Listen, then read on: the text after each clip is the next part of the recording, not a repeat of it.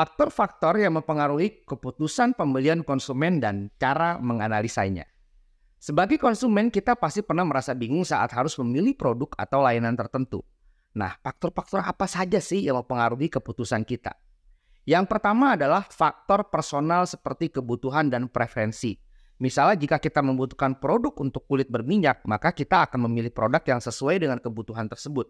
Begitu juga dengan preferensi. Jika kita lebih suka produk yang alami, maka kita akan memilih produk yang mengandung bahan-bahan alami. Kedua, faktor psikologi seperti persepsi dan motivasi. Persepsi adalah bagaimana kita melihat suatu produk, apakah positif atau negatif. Sedangkan motivasi adalah dorongan dari dalam diri kita untuk membeli suatu produk.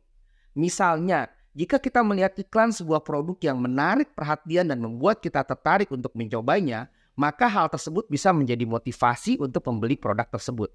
Ketiga, faktor sosial seperti kelompok referensi dan status sosial.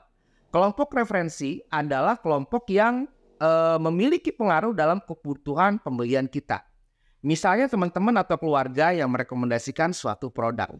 Sedangkan status sosial bisa menjadi faktor penting dalam kebutuhan pembelian bagi sebagian orang.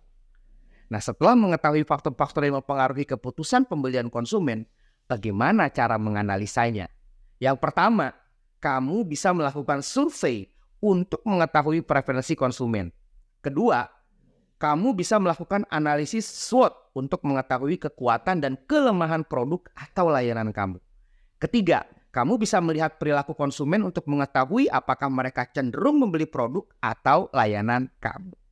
Jadi itulah tadi informasi tentang faktor-faktor yang mempengaruhi keputusan pembelian konsumen dan bagaimana cara menganalisanya. Semoga informasi ini bermanfaat bagi teman-teman semua dan jangan lupa untuk selalu bijak dalam memilih produk yang akan dibeli. Sampai jumpa di video-video Madani Ray berikutnya. Bye.